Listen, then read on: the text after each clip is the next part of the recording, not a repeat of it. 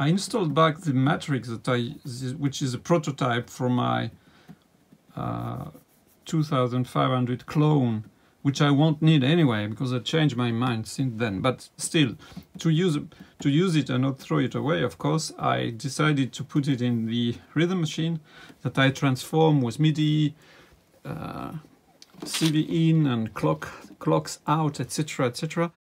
You see the clock makes like this, goes down,